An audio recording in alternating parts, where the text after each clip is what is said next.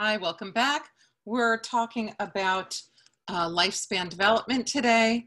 So let's go ahead and get started. Um, growth and development is something that we all get excited about. In utero, we're excited to follow the baby's development with ultrasound and other testing. As babies take their first steps, the first word, the first everything, we look forward to growing and developing we're learning more and more about human development all the time. And when I was starting out, I'm a developmental psychologist, there weren't any human development courses really. It was just development. And it ended in early adulthood. And there were no real possibilities, at least in my program and others that I had looked at around the country, um, to take anything in adulthood. Uh, but now, fortunately, we know much more. We know we continue to develop throughout our entire lives from, from conception to uh, death. Um, and uh, we are we have a whole field now that's dedicated to looking at aging and development past uh, the point of puberty. So um, the field is full of research. Um, we have all kinds of new findings now uh, that are always developing. This is a great um, field because there's so it's so rich with information, and we continue to um, uh, find out new things with all of the new research that's out there. So, what is developmental psychology? It's a field of study that examines physical, cognitive, and socio emotional changes across the lifespan. Physical development starts as soon as the sperm and egg unite, and it continues until we die. Maturation is based is bio-based change that follows an orderly pattern. And it is the physical growth beginning with conception and ending when the body stops growing and developing. This is the same across cultures and ethnicity. So I have a video to show you. I'm going to post it on course units. Um, so please pause the lecture now to watch the video. This is a video that is real and shows graphic images at the end with a birth. Um, so just be aware but it's a great video because it takes you from um, uh, the, the very moment of conception all the way through birth. So let's start now. Now that hopefully you've watched the video, uh, you've paused it, you've come back, and now you're uh, starting back. Um, let's talk about chromosomes and genes. To make a complete person, we need 46 chromosomes. That's 23 from dad and 23 from mom. So if you've heard of 23andMe, maybe that'll help you remember that you need uh, 23 and 23 to make 46. Okay, so again, that's 23 uh, chromosomes from dad, 23 chromosomes from mom, and that makes 46 chromosomes to make a complete person. Chromosomes are inherited thread-like structures composed of DNA, and every cell in our body has a nucleus at its center. In the nucleus is the blueprint for building the complete person. So throughout this lecture today, I'm going to be showing you a lot of images and um, sharing my screen a lot. So get ready for a lot of back and forth. I just think it's going to be a little bit better than if I um, uh, put a lot of the, the material up on course units and you have to keep pausing and going to take a look. So with DNA, each chromosome contains one molecule of DNA, and the DNA provides the instructions for the development of an organism. So I'm going to share my screen here and show you the image that I'm looking at because I think this is going to be helpful. So what we're looking at here is um, this is most of you have probably seen this. This is DNA. Uh, what we're looking at here are the base pairs. Um, and I will come back to a lot of this, but I wanted you to see what DNA looks like, what a picture of DNA looks like. So let's go back.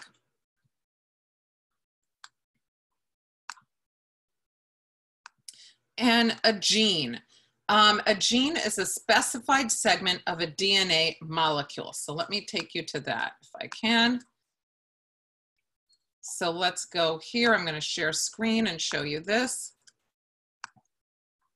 Okay, so what we have here is this is the DNA. So this looks, it's a smaller version of what you saw before, right? Um, the DNA. So this is the DNA. Within the DNA right here, this is the gene. So as you can see here, this is the gene. So um, it's a part of it. So that's what um, was meant by that. So you got to see the bigger picture before of DNA. Now you're getting to see uh, what a what would make up a gene right there.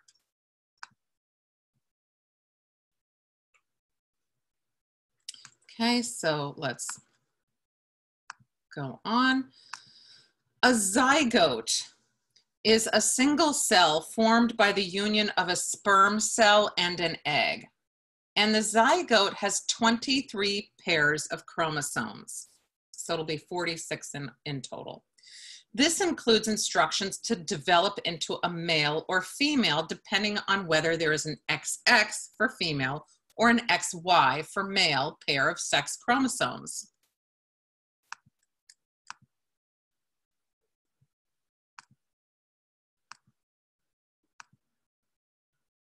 So when we uh, look further into that, we know that there's a genotype, an individual's complete collection of genes. Genotypes do not change in response to the environment, but they do interact with the environment. So some examples are the color and appearance of your skin. There is an interplay with your genotype and the sun, wind, your age, nutrition, smoking, which can all impact how your genes are expressed. And this interaction is called the phenotype. The phenotype is, is the expression or characteristics of one's genetic inheritance. So, um, I have freckles when I go out in the sun. So I have very pale skin. My genotype is to have very pale skin when I go out in the sun, freckles come out. That's my that's a phenotype. So this is an observable characteristic and it has an interplay with the environment. So that is an example of that. And most of you will be able to probably come up with examples of how what your genotype may be um, and how the um, environment can interact with that. If I, I'm very pale, but if I go into the sun, eventually I will get a little bit of a tan. And so that is the phenotype. That's the expression of um, my genetic inheritance. Epigenetics is the field of study that examines the processes involved in the development of phenotypes. So an example is studying schizophrenia a person's genotype may predispose them to getting schizophrenia. There is a 60 to 80% heritability rate for this, but environment may play a role in this, uh, like diet, stress, toxins, and childhood adversity all play a part.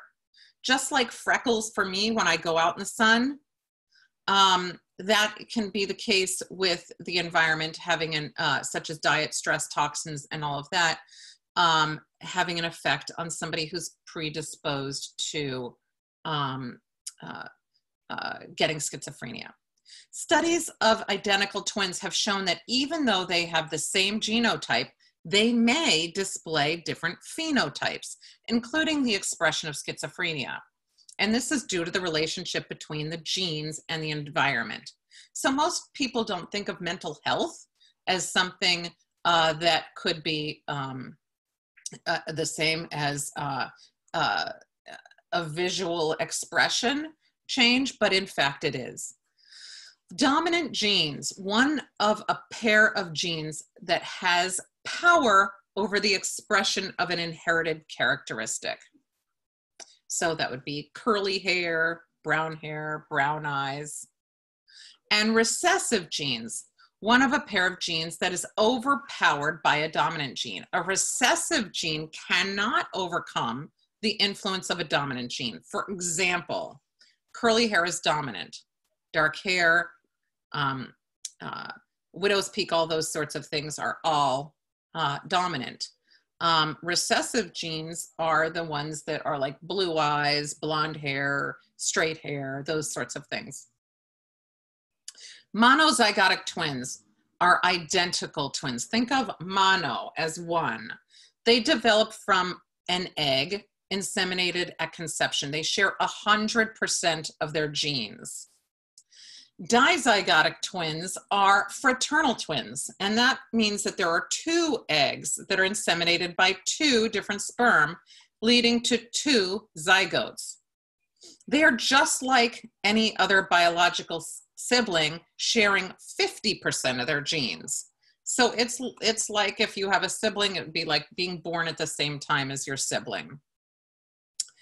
Um, an embryo is the unborn human from the beginning of the third week of pregnancy, lasting through the eighth week of prenatal development. And the fetus is between two months and birth. Uh, the growing baby is the fetus. So maturation ends when we stop physically growing, but physical change continues. The physical changes aren't necessarily positive. For example, in our 40s and older, we may need reading glasses like I have here. I didn't need them until I was in my 40s. Memory changes start to happen in the 40s, and as early as our 20s or 30s, we can't perform as well in sports activities as we could when we were younger. There are debates in developmental psychology about things like nature and nurture, stages and continuity, and stability over change. And basically, these refer to us not agreeing on and needing more research to answer the questions. One, do we need do we develop in discrete stages or is it a con- continuous process? Two, what is the role of heredity and environment?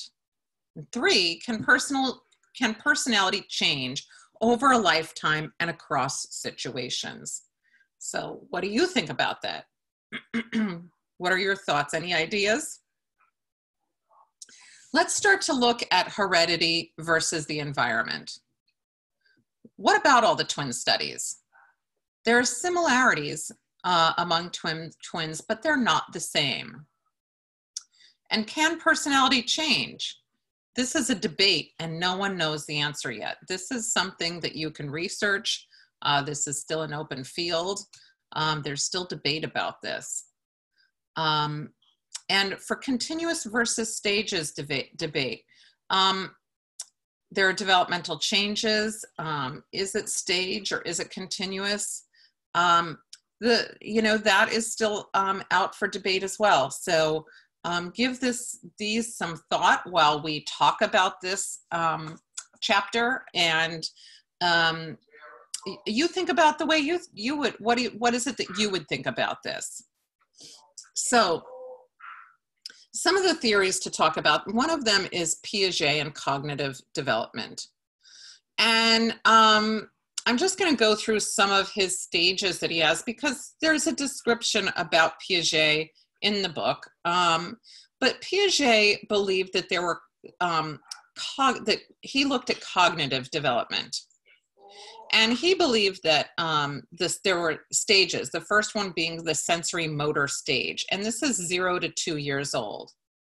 And in this stage it's um, looking at um, object permanence. So how often have you ever gone and seen um, a baby um, who's young um, and you uh, play peekaboo and you go peekaboo peekaboo um, you know, when you're hiding and they can't see you, it's like, where are you? And then they see you. Uh, no one at this age is surprised if someone does this and then they come back again. The same with if you were to hide, if I were to hide over here and you can't see me and I come back, uh, you're not surprised. Babies are, and this is object permanence. Uh, if uh, they can't see you, you're not there, that kind of a thing. So it's really cute to see um, with little babies and how they develop that. But at, at about two years of, of, age, they would know that if I go here or if I hide behind uh, the wall be in the other room, that I'm still there. I didn't go anywhere. I'm just in a different place. The next stage is pre-operational, and this is from two to seven years of age. And this is um, looking at a, an egocentric stage. And what we're looking for is the conservation failure. So let's talk about what that is. Um, uh, the, the perspective of the child is very egocentric, very focused on themselves. They're not able to take the perspective of somebody else when they're looking at something. So if you are shown a, a three-dimensional object and uh, the child is talking to you about it, they're not going to know that you can see that you're seeing something completely different from them. There's another another part of it, and let me see if I can draw it out for you. That might be useful. Um, is conservation. You may have already heard of this, but let's just go ahead and um, and see if we can, I can give you a little description here. So if I show you a glass with some liquid in it, and excuse my drawing, I'm not an artist, uh, you have liquid in a glass here. And then you, in front of the child, between two and seven, pour that liquid into this container this taller, thinner con container. What do you think the child, do you think that the child will think that it's the same amount of liquid in here? That it has more or that it has less? What do you think? In fact, they think there's more in this one because it's taller. The same thing can happen if I have um, I'm going to just draw it out. If I have five quarters, right, and I have another row of five quarters below it, I'll say, are these the same? And the child will say yes. Now, if I were to draw it like this, let me give me a minute to draw.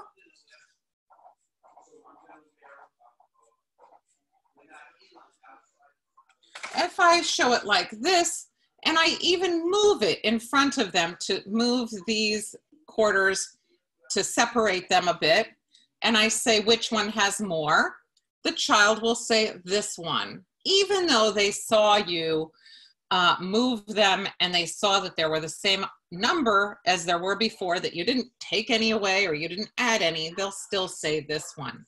And that's because of um, the failure to conserve. So this is um, the in the pre-operational stage. Now, when they're able to say, okay, these two have the same amount and these two glasses have the same amount, then they've reached that stage. The next stage is the concrete operational stage, and that's between 7 and 12 years of age. And this is when you're able to do reversible manipulations. So um, you're able to see things from another person's point of view.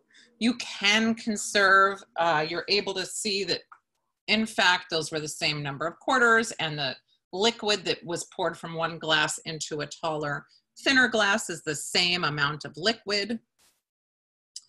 And finally, formal operations is 12 and older. And this is abstract thinking. You don't need um, a concrete example for things, for formal operations. Um, you're manipulating ideas. So uh, this would be like physics, things like that, the arts, those sorts of things. There's no real concrete um, uh, uh, explanation that is um, example that's needed. So Piaget is good um, for rational thinking, but um, he doesn't really talk about emotional thinking and development. And this led to the idea of everything being at the sta- same stage, but it's not. So let's talk a little bit about um, some of what's involved. There's a schema. And this is a collection of ideas that represents a basic unit of understanding. And the things that are involved in a schema are assimilation, accommodation, and equilibrium. So let me just say that again. A schema is a collection of ideas that represents a basic unit of understanding. So let's, let's move on. Assimilation. That's using existing information and ideas to understand new knowledge and experiences. So assimilation refers to part of the adaptive um, adaptation process that's initially proposed by Piaget. And through assimilation, we take in new information and experiences and incorporate them into our existing ideas. So, an example would be that a child has pets in her home, small dogs. And when she sees a large kitten at a neighbor's house or a large cat at a neighbor's house for the first time, she may call it a puppy because it has many of the similarities to the dog that she has. So she applies her unfamiliar small animal to her already existing knowledge base or schema. Accommodation is a restructuring of old ideas to make a place for new information. Accommodation refers to part of the adaptive uh, adaptation process, and the process of accommodation involves altering your existing schemas or ideas as a result of as a result of new information or new experiences. So a, a young child may have a, an existing schema for a dog, but it can uh, change when that comes in. So let me give you an idea though that is more um, more relatable to regular everyday life. So let's just say you are sitting at your table and um, it's dinner time and your whole family is sitting around the table having dinner. And then you hear a knock on your door. And um, let's just say there are four people at the table and you're all eating and you hear a knock, knock, knock, knock. And it's some person you haven't seen in a while. They happen to be in the neighborhood and um, they said, Hey, I was just in the neighborhood. I thought I'd drop by and say hi and you say to them, you know what? Come on in. We were just sitting down to dinner. I will accommodate you and set a place setting for you and get some food for you, and you can come sit at the table. We're all used to accommodating um, people and situations, and that's really what we're talking about here with regard to learning. You're taking what you already had existing your already existing schema for having dinner. Someone else comes in and you say, come on, bring this new information in and we'll just put you at the table. Now we have five at the table. So that's how I like to think of accommodation, that you all know what accommodation is. You do it all the time. So you can think of it that way. So assimilation and accommodation both work in tandem as part of the learning process. And some information is simply incorporated into our existing schemas through the process of assimilation, while other information leads to the development of new schemas or total transformations of existing ideas through the process of accommodation. And equilibrium um, this is where Piaget believed that cognitive development did not progress at a steady at a steady rate. It wasn't continuous, but he believed that it um, went in leaps and bounds. So equilibrium occurs when a child's schemas can deal with most new information through assimilation.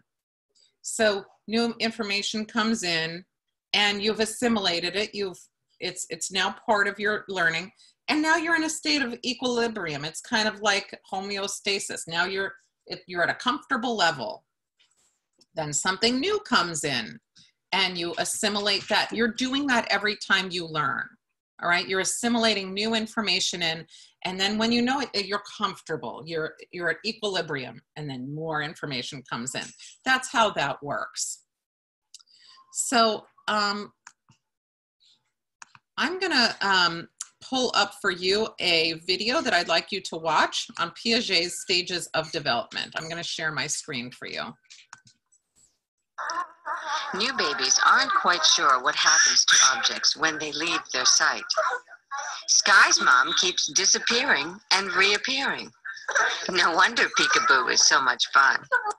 During their first year, however, infants will learn an important concept object permanence. Everything has a life of its own, even if it is out of sight. At Maya's age, babies know to look for the object, but they might not have everything else straight. 10 month old Simon is about to make a classic mistake. Although he watched us place the toy plane under the white cloth, he'll look for it where he last found it, not where he watched us hide it.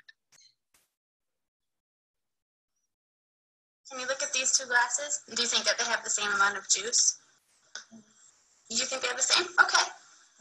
Now we're going to pour this juice into this glass.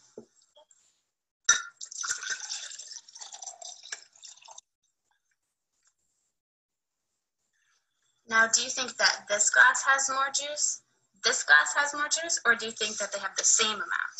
That one has more. This one has more, and why do you think that this one has more? Because the, it's taller. Okay, you ready? Okay. Does this row have more quarters? Does this row have more quarters, or do they have the same? One, two, three. One, two, three, four, five. One, two, three, four, five. They're They're both the same. the same? Five, five. Okay.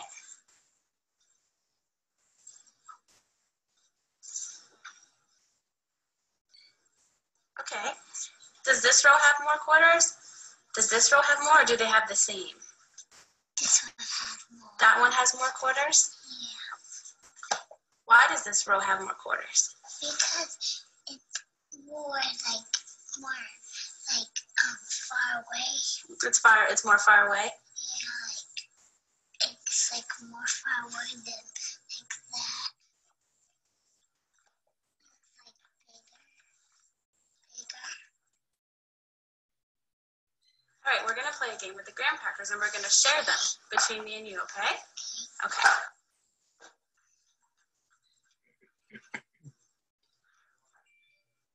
Do you think that we shared those fairly? No. No, why not? You share you have those and I have this one. Well, what about what? What if we try this? Okay, can I put this down right there? Now is it fair? Yeah. Yeah. Why is it fair now? Because we both have two. Can you tell me what you see when you look at that from where you're sitting? What are some of the things that you see? Um and a cat A cat. and a tree and a barn. Okay, now we're gonna do the same thing. Can you tell me what you see when you look at it from that stool? Um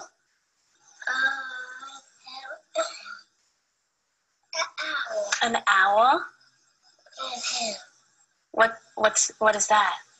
Uh, a goat. A goat. Okay. Is there anything else you see? yeah, right there. Right there. What is that? Uh, a tree, A tree. and that's another little tree. Another little tree. And can you tell me what I see when I look at this from where I'm sitting right here? An owl, Okay. and a goat, Mm-hmm. and a, another tree, and that, and that.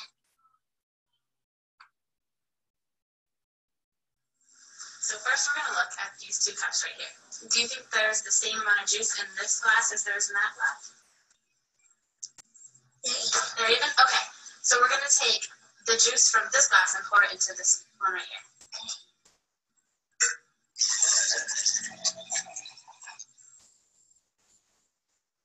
Okay, so now we're gonna look at this glass and that one. So do you think that there's more juice in this glass, more juice in this glass, or do you think that they have the same amount? Same amount. Okay, why do you think that they have the same amount?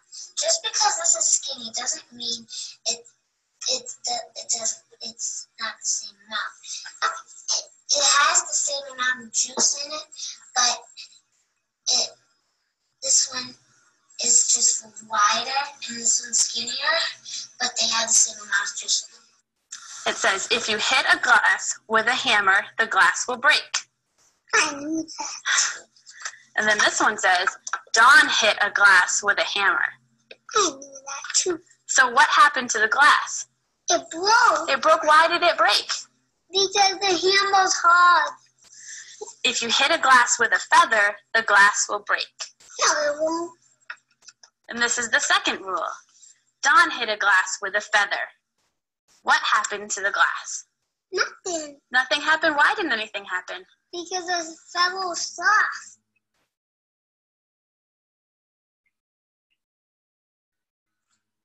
If you hit a glass with a feather, the glass will break. And the second one, Don hit a glass with a feather. What happened to the glass? It broke And why did it break? because the rule says if you hit a glass with a feather, it'll break. But if you hit a glass with a feather, broke.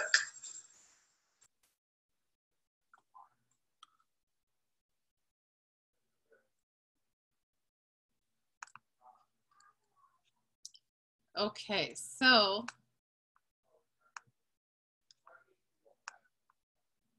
I hope that was helpful and gave some examples of what we just went over.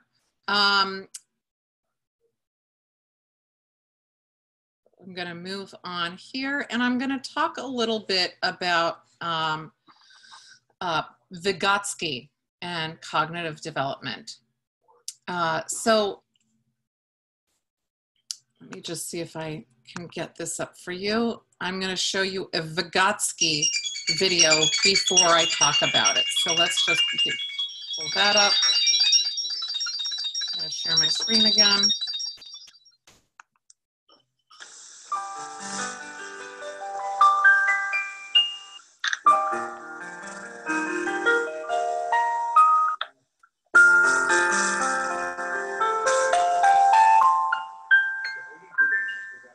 Vygotsky argued that learning impacts development. With early math, for instance, learning skills can hasten development.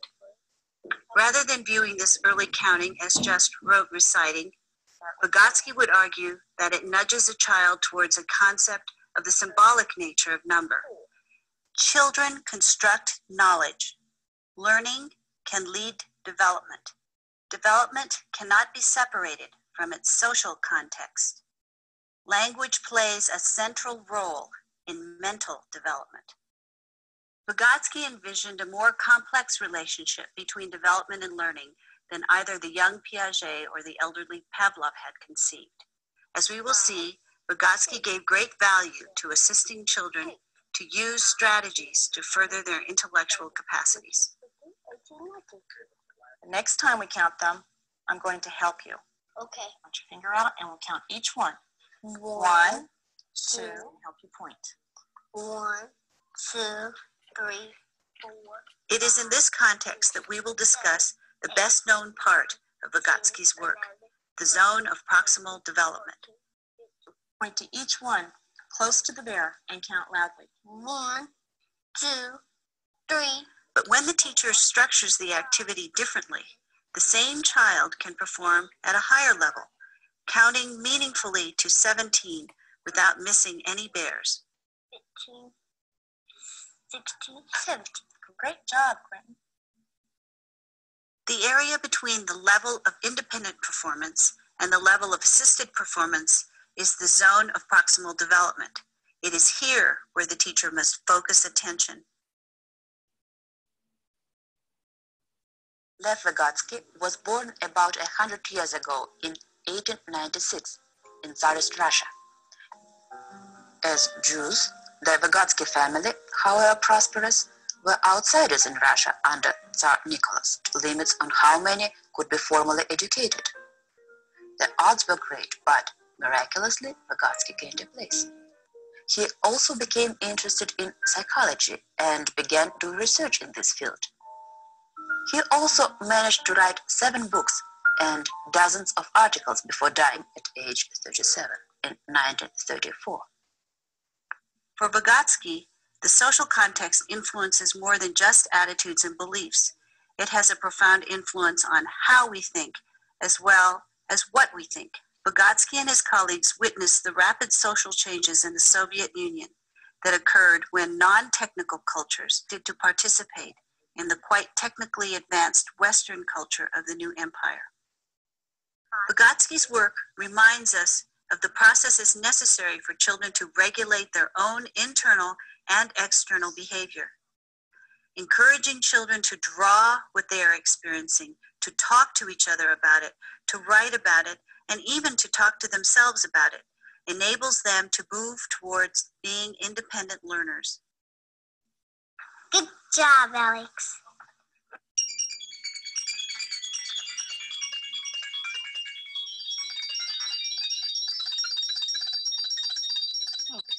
So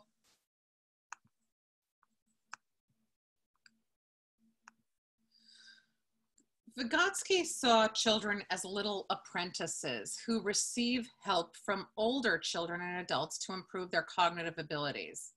So, an example is when a parent helps a child solve a puzzle, like a regular puzzle, by supporting them to help them succeed on their own rather than doing it for them. And this helps them advance in their goal directed behavior and helps them to learn to plan ahead. There's something called scaffolding, and this is pushing children to go just beyond what they're, what they're competent and comfortable doing while providing help in a decreasing manner. And the zone of proximal development is the range of cognitive tasks that can be accomplished alone and those that require the guidance and help of others. So we as adults can help a child move from a basic project to a more complex project by supporting and guiding them. Vygotsky believed that learning occurs differently ac across cultures because there are different learning expectations. Also, he did not focus on emotional development. So let's talk about some other important concepts in our development. I'm going to pause it here and I'm going to come back in just a moment. So let's pause here. Okay, so let's talk about some important concepts in our development. There's a critical period, and this is a specific time frame in which an organism is sensitive to environmental factors, and certain behaviors and abilities are readily shaped or altered by events or experiences. One example is geese. Konrad Lorenz in 1937 found the imprinting phenomenon. So um, when baby geese hatch, they become attached to the first moving um, and sound emitting object they see. So whether or not is it is their actual mother, uh, they will imprint. So Konrad, Lorenz uh, made sure that he was the first moving creature baby goslings saw after hatching, and they followed him around as soon as they could stand up and walk, and they became permanently attached to him. He found that experiences during a critical period result in permanent, irreversible changes in brain function. Humans don't have such dramatic behavior changes, but some researchers believe there's a critical period for language, vision, attachment. And um, an example of this is in humans, when we've seen kids who have been deprived early on, uh, we see that there are some um, lags or um, that there are just some cutoff points at which uh, they do not develop in terms of language and other areas. And Genie Wiley is an example of that. She was considered a feral child who was found in 1970, and she was severely deprived her whole life. And at age 13, had stunted language. She was taken away from her deprivation and studied extensively her brother, who was raised in the same house and uh, he was not deprived, had none of the issues that Genie had. He developed normally. And they both had the same intelligence level. Everything else was the same, except that she was deprived and he was not. And this led to psychologists understanding critical periods for language. And I'd like to show you a video about this. Um, so I'm going to share my screen with you. Officials in the Los Angeles suburb of Arcadia have taken custody of a 13-year-old girl, and they say was kept in such isolation by her parents that she never even learned to talk. The girl still wore diapers and was uttering infantile noises. A social worker discovered the case two weeks ago. But the authorities are hoping she still may have a normal learning capacity. Among the first to see the child was Temple City Detective Sergeant Frank Lindley.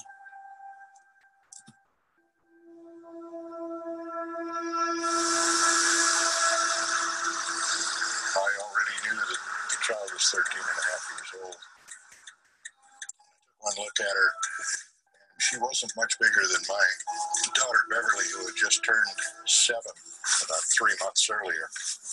And I really had a hard time conceiving of the idea that the child was the age that she was. The child uh, obviously had been severely mistreated. She was still in diapers, couldn't walk. She had no verbal skills at all at that point. The last time I was on this street was probably 30 years ago. Yep, there it is. Hasn't changed much. The backyard looks the same. It's all weeds and dead grass. Looks the same as it did in 1970. The house belonged to Clark Wiley. A loner, Clark had turned his back on the world after his mother had been killed in a hit and run accident. After the accident, things in the Wiley house would never be the same again. The house was completely dark. All the blinds were drawn. There were no toys, no clothes, nothing that would ever indicate to you that a, a child of any age lived there.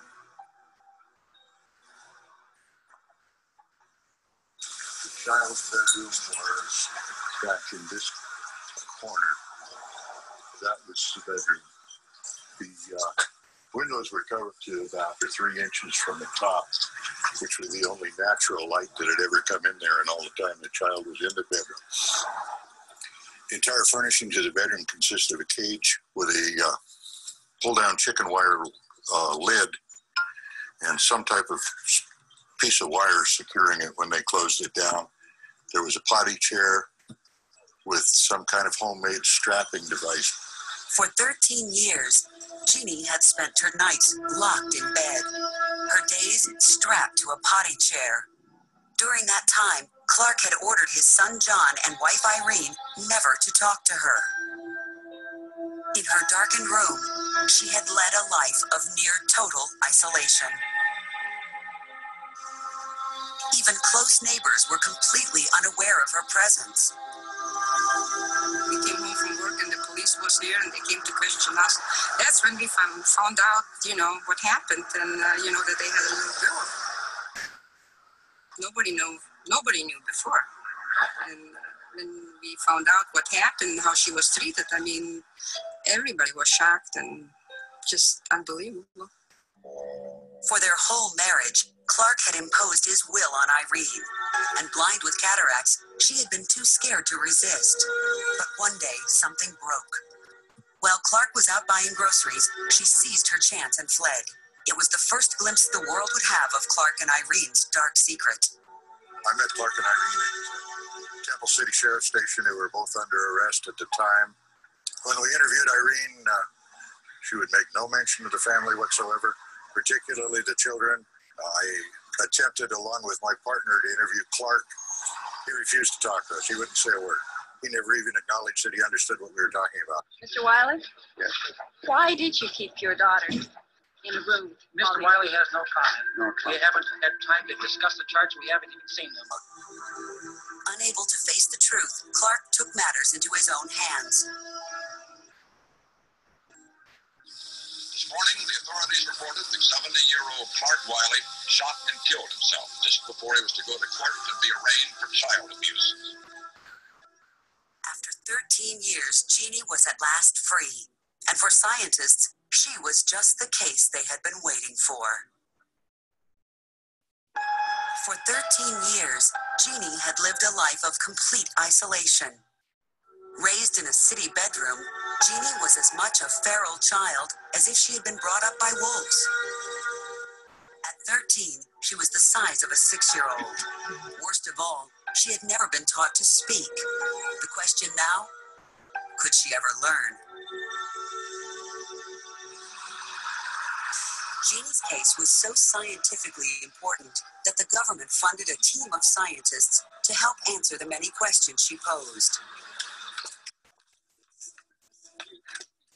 Scientists who would become especially important to Genie were child psychologist James Kent and linguist Susan Curtiss. Neither had ever encountered a case as extreme as Genie's.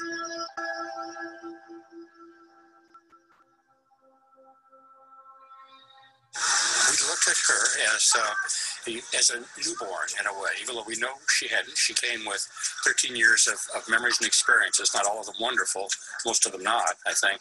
And so we thought we needed to start to expose her to what the world was going to be like for her outside the hospital bed. To Genie, everything was a new experience. Do what you would do with with your own kids if you were introducing them to the world. You take them out and hold them up and show them. sort of judge from how they reacted to whether this was too much or not enough, and you could move on and do the next thing. Genie was making amazing progress. As the experts looked on, they realized that she might be the answer to the question that had troubled science for so long. So we seized this wonderful opportunity that she provided us in as loving a way as we could, but using it to finally get our chance to address head on specific hypotheses and notions about human language and the human mind. These hypotheses were based on the latest ideas about how children's brains developed. According to the theory, young children could only learn certain things at certain times, called critical periods. Language was one of these critical periods, and according to the theory, Genie, who was now a teenager, had missed her chance forever. But incredibly, Genie seemed to be proving the theory wrong. As this footage shows, Genie was blossoming. Not only was she delighted by the world around her, but she was learning the words for the new things she was seeing.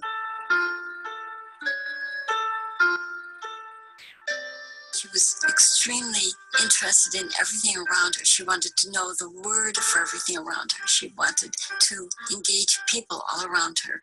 She was not mentally deficient. Her lights were on, and everyone who worked with her, from teachers to therapists to me, knew that she was not retarded. It was clear as day. And as she began to learn more and more words, hundreds of words, much more rapidly than I ever imagined, and stringing them together, I began to think maybe I will be wrong. Maybe she will be the one that will prove that this hypothesis is incorrect. But Genie could not escape the effects of her past so easily. She was still haunted by her traumatic upbringing, trapped by the memories of the awful fate she had suffered. And linguistically, she had stopped making progress. She learned tons of words. She has an enormous vocabulary, but language is not words. Language is grammar. Language is sentences. How do you make a sentence? What can be a sentence? What is a sentence? How do you automatically know something's a sentence? So it wasn't because she was cognitively deficient. In other respects, it was because she was cognitively deficient in this island of human mind, the mental faculty that we call grammar. At the time Genie was found, brain science was in its infancy.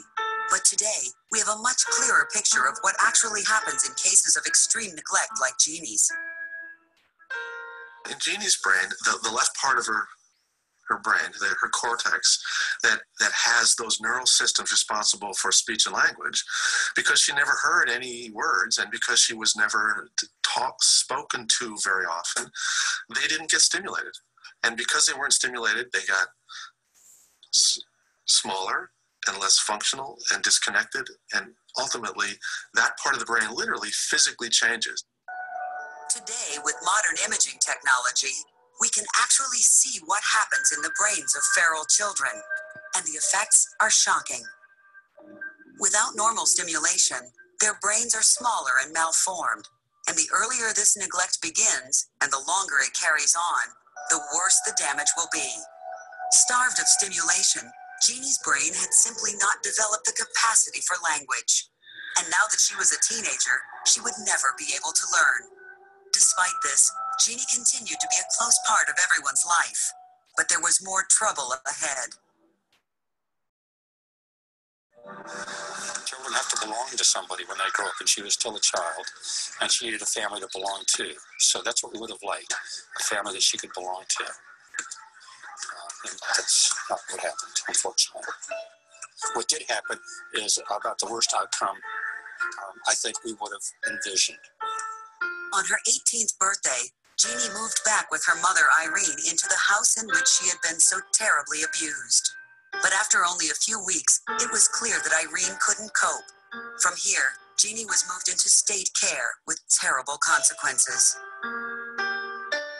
I was a student, and people wouldn't listen to me. People who needed to intervene did not listen to me.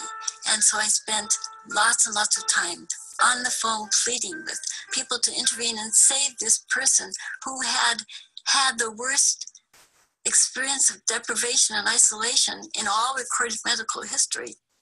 Genie moved from home to home, sometimes with the very people who served as her therapists. This potential conflict of interests raised tensions among the many people involved in her life, and a tug of war erupted over the child. As Genie's condition deteriorated, Irene decided that Susan Curtiss and the other academics had become too close to Genie. A lawsuit followed. I went from being asked to be her guardian to one week later being prevented from seeing her or phoning her. And ever since then, I've been prevented from having any contact at all.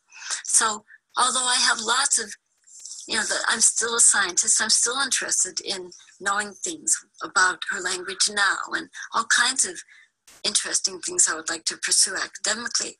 Primarily, I would just like to see her. Now, a ward of the court, Genie lives in an adult care home somewhere in Los Angeles, prevented from seeing the people who once meant so much to her.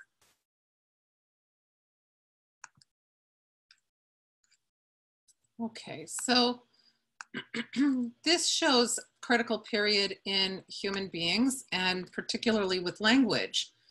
I want to really stress that um, this was not something that was just an unusual case. Again, she had a brother named John, John Wiley, who was not deprived as Genie was, and his development was normal. It was typical, unlike his sister, whose development was stunted.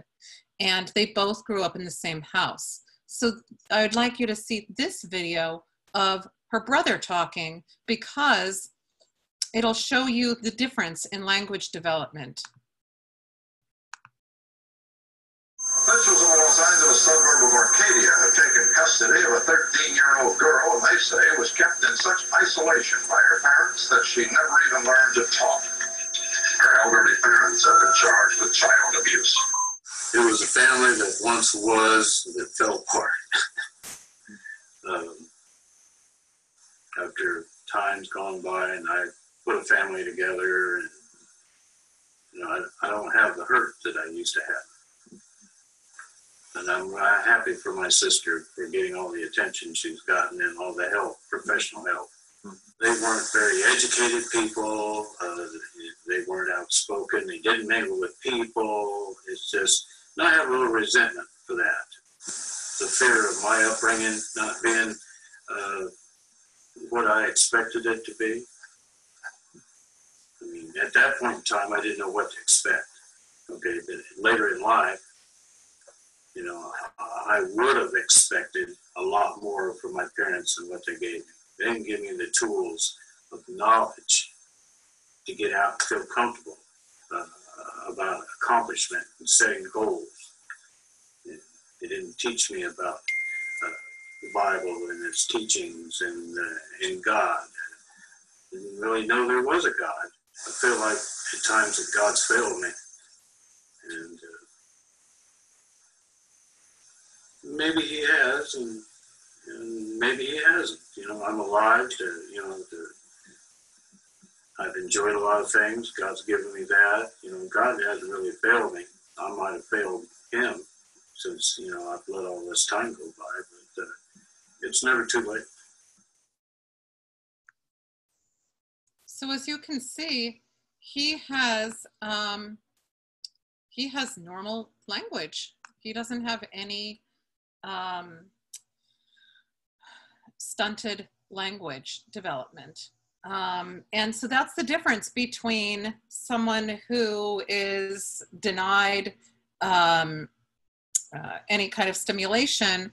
Uh, there's a critical period that we know for language uh, that you can't um, obtain it afterwards, just like um, the Goslings who followed Konrad Lorenz, um, they realized that uh, that was irreversible at some point. Uh, so, at any rate, I'd like to uh, talk a little bit more about other aspects of critical periods that were studied by Harry Harlow, who researched love, but later became seen as attachment. We now call what he was calling love attachment. And he did this uh, work in University of Wisconsin Laboratory. And what he did was he aimed to illuminate the relationship um,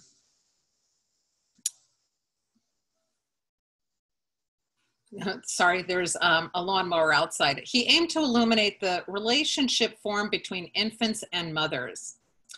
And he showed that mother love was emotional rather than physiological, showing that nurture is important in determining a healthy psychological development, more so than nature. Just providing food and necessities to grow is not enough. So there needs to be an emotional component to that. And he showed the capacity for attachment was closely associated with critical periods in early life, after which it was difficult or impossible to compensate for the loss of initial emotional security. And the critical period thesis confirmed the wisdom of placing infants with adoptive parents as shortly after birth as possible.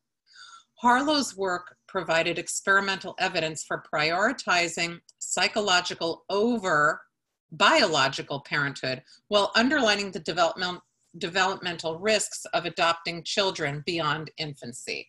And so um, I'd like to uh, go ahead and show you this video. I'm going to share my screen again. And ourselves.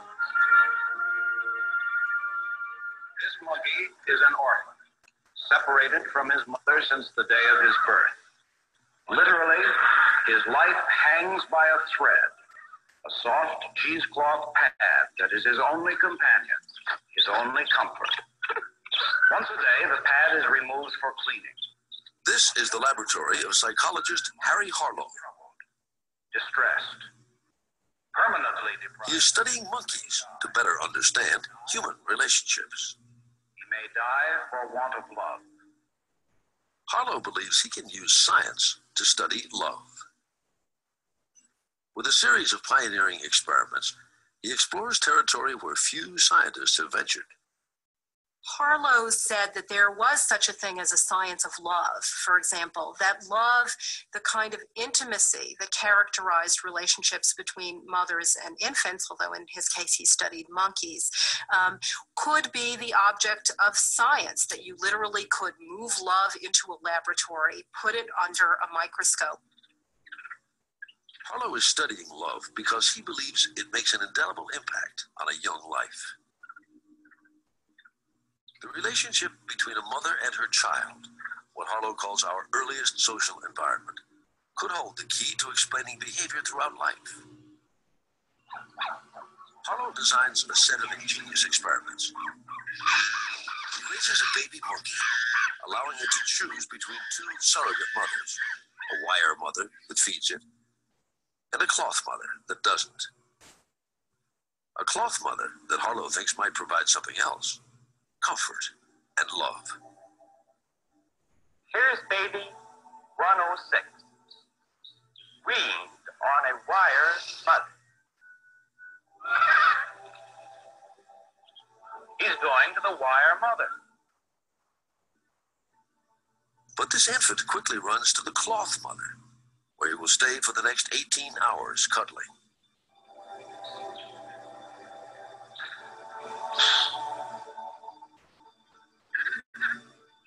Harlow's mind, choosing nurturing over sustenance. In another experiment, Harlow creates a fearful situation. Whom does the infant turn to now? Let's find out what his reactions to his mother are when we frighten him. He's scared, all right.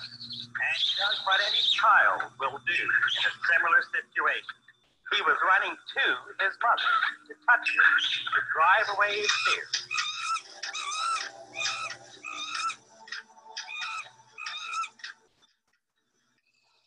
Harlow, there is something about the experience of comfort and love, even more than food, that seems crucial to all these monkeys.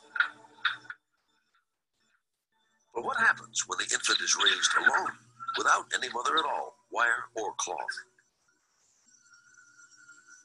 In this situation, the orphan monkey stays alone. He won't even go to the cloth mother, frightened, but retreats into his own world. Harlow believes he has shown how want of love can damage an infant for life, and he worries the same is true for people. What comes through loud and clear in Harry Harlow's experiment was that early experience and the environment were crucial to the healthy development of, of the infant child. And that in a sense, if you messed up, if the right kind of maternal presence was not there during the critical years, then that infant might grow up to be an adult incapable of forming healthy relationships with other kinds of people. So that shows um, the critical period for love um, and forming attachments. Um, so let's talk a little bit about attachment. Um, Spitz um, talked about institutionalism, and he observed children in institutions to see how they coped with depriva- deprivation of their caregiver. And what he found was that children become increasingly depressed when deprived of their caregivers uh, during a three month period. So, depression was um, partial at first, but became more severe and is called hospitalism after three months of deprivation.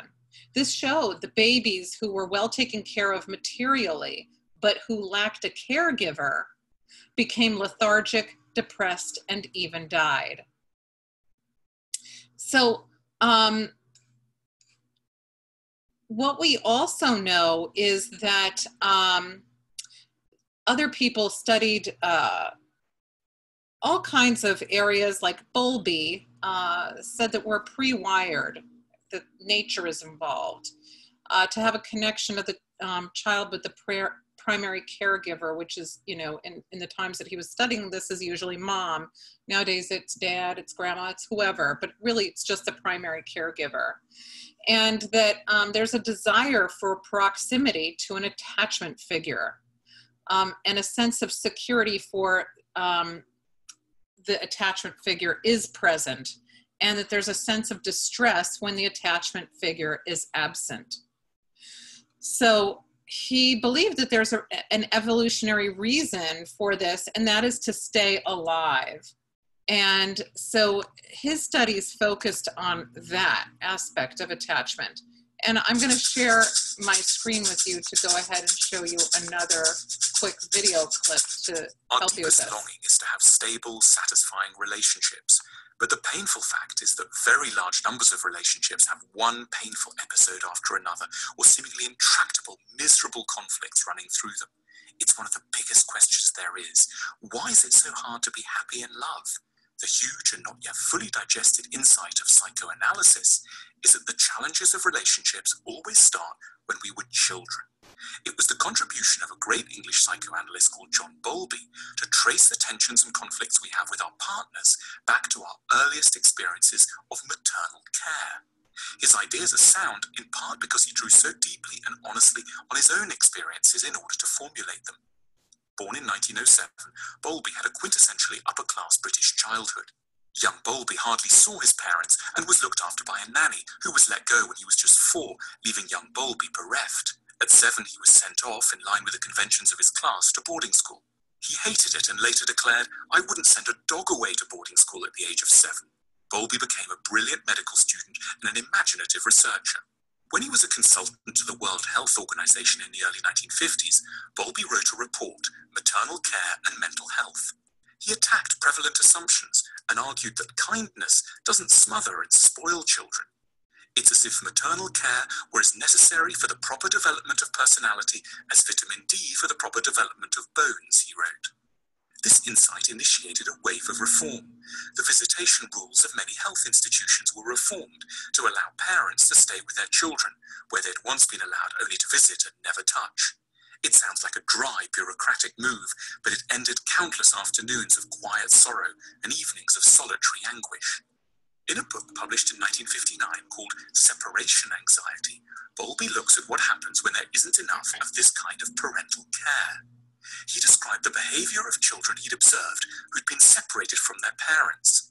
If the child is separated for too long, they still crave the attention, love, and interest of the parents, but feel that anything good may disappear at any moment.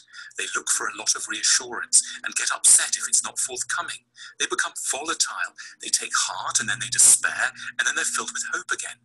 This is the pattern of what Bowlby called anxious attachment. But the degree of separation from the parents may lead to another sort of problem. The child could feel so helpless, they become what Bowlby called detached. They enter their own world to protect themselves and become remote and cold.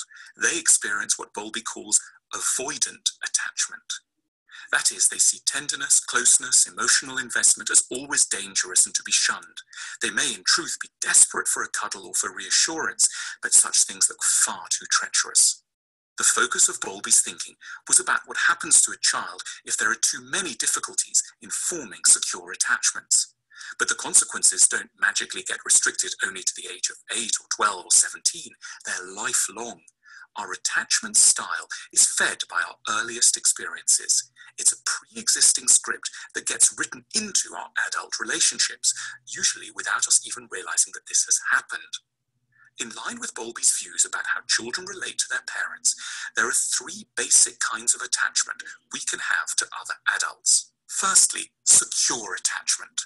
This is the rare ideal. When you're securely attached, if there's a problem, you'll work it out. You're not appalled by the weakness of your partner. If your partner's a bit down, confused, or being a bit annoying, you don't react too wildly. Because even if they can't be nice to you, you can take care of yourself and have hopefully a little time left over to meet some of the needs of your partner.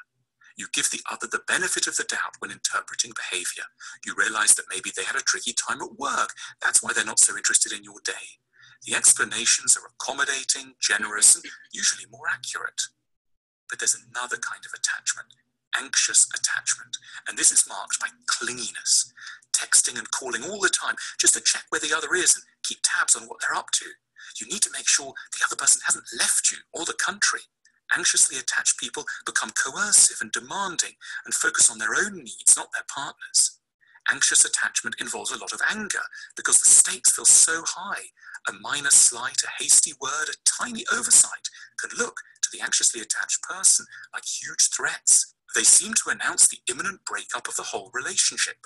One feels the reason you don't tell me that the minestrone soup I made is delicious is that you don't love me and are planning to leave me, when the true explanation may simply be that one's partner is mulling over a very tricky bit of news about a contract at work. Avoidant attachment means that you would rather withdraw and go away than compromise, get angry, or even just get close to another person. If there's a problem, you don't talk. Your instinct is to say you don't need the other person, especially if you're lonely. Avoidant spouses often team up with anxious ones. It's a risky combination. The avoidant one doesn't give the anxious one much support, and the anxious one is always invading the delicate privacy of the avoidant one.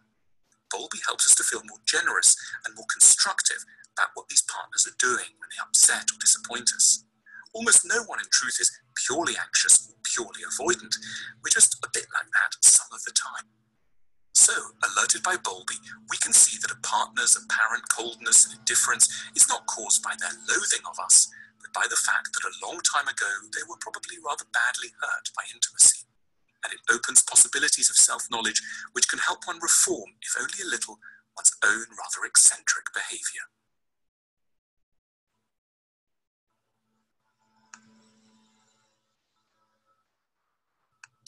So I hope that this was helpful in um, showing uh, Bowlby. Um, there, he wasn't the only one who studied attachment patterns. Mary Ainsworth also did, and she looked at something called the strange situation. And in this research that she did, she had a young child um, and a mom who were, who were in a room together. Then she would have mom leave, and then a stranger would enter the room, uh, and then the mom would return and they wanted to see what the baby would do.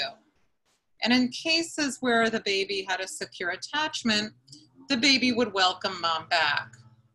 In an anxious attachment or ambivalent attachment, uh, the baby was angry and rejecting, but also wanted to be close to mom. In an avoidant attachment, the baby would ignore mom and in a disorganized attachment, the baby would just freak out. So um, the idea is that, and we saw that in the video, that this um, pattern can last. Um, so that this is something that can uh, carry into adulthood. So um, what we do know that is good to know is that about 60% of people are securely attached. Um, about 25% are avoidantly or anxiously attached, and 10% are ambivalently attached, and about 5% are disorganized.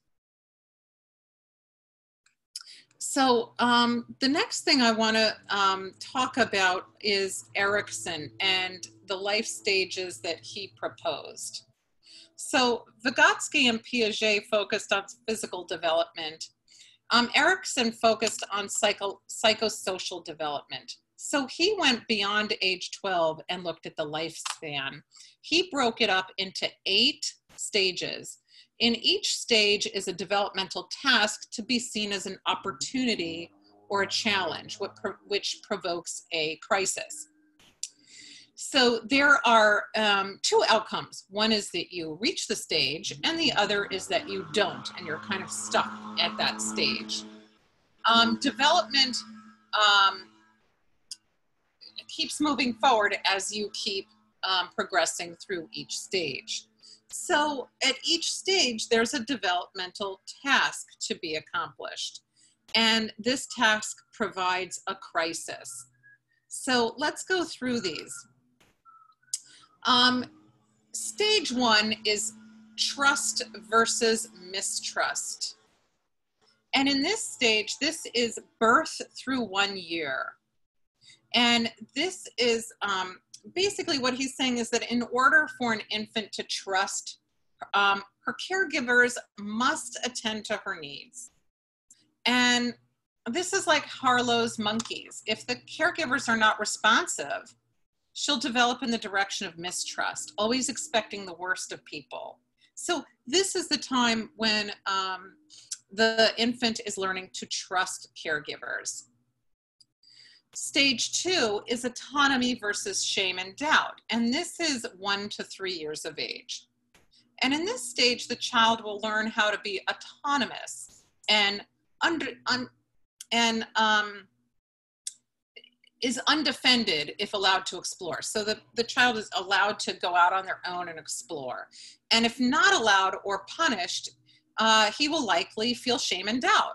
So um, this allows the child to move beyond caregivers to family members and to close friends. And this is from one to three years of age. The next stage, stage three, is initiative versus guilt. And this is from age three through six. Children have more experiences beyond close family and friends that prompts them socially.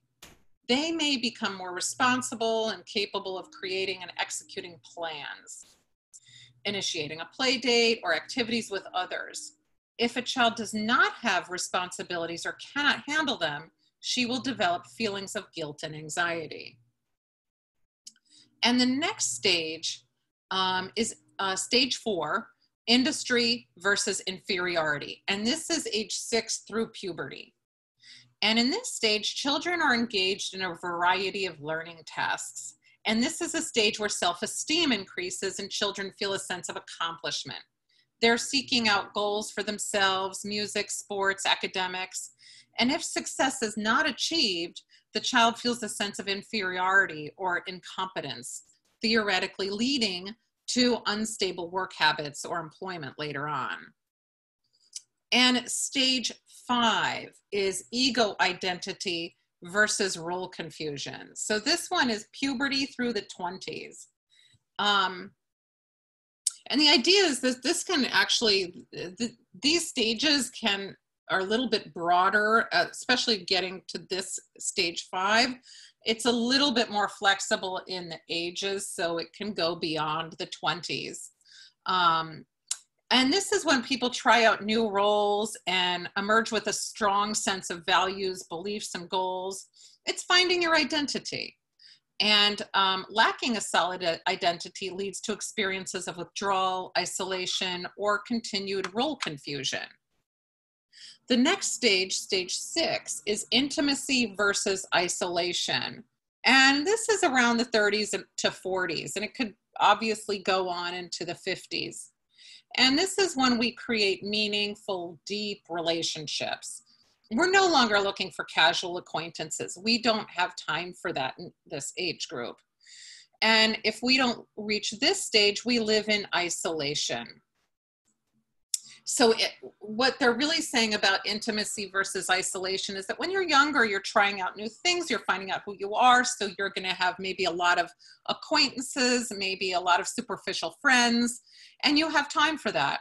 When you're in your 30s and 40s and even into your 50s, um, you are looking for deeper relationships, meaningful ones that um, aren't as casual because, first of all, there's not enough time for that. Usually people are um, really busy with work, um, really busy with family. And so to, to fill your spare time with superficial friendships isn't um, as pleasurable. So people are looking for something more, you know, fewer friends, but more meaningful friends. So they're going to shed some of the superficial friends, but keep some of the really good, closer friends.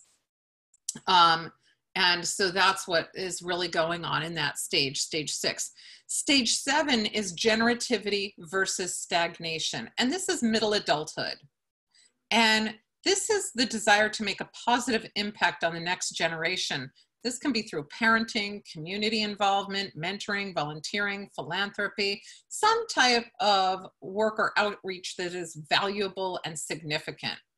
So we're choosing our legacy at this point. And this is when we're saying, hey, what have I done? What, what is making my life or the whole life that I've lived to this point meaningful? And not reaching this stage um, um, experience uh, leads to boredom, conceit, selfishness. I refer to this as the Ebenezer effect from Ebenezer Scrooge. He seemingly had everything. He um, was a self made guy. He lived in a mansion. He had servants taking care of his needs, but he was unhappy. He was selfish with his possessions and his emotions. And it wasn't until he reached the stage of generativity um, and where he was um, looking to actually give back to others that he experienced joy.